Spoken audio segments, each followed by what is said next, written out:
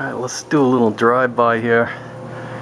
Uh, I wish you could smell it out here because it's great. All the lacquer fumes from spraying that plate are just making me happy. Anyway, the varnish is on this thing. Came out okay. I mean, this will get sanded down, rubbed down, another coat of varnish. Tamara. The plate, though, is really nice, even though it, it's not going to look really nice if you can see it.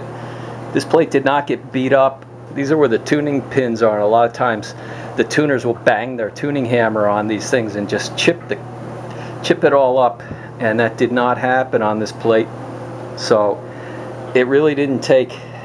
I mean, I'm to sand this down and spray it like eight more coats or something.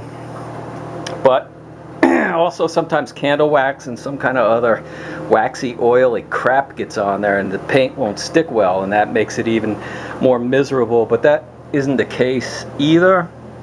Also sometimes these letters depending on the casting the letters get all blobby and not defined and it makes painting them really hard. I mean here's an example. This is the worst part here where it's it's the letters are all messed up from the casting now I could spend a lot of time trying to fix that, but I'm not going to.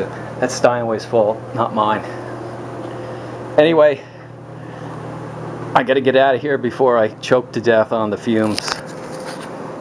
But this thing will get put together and strung next week.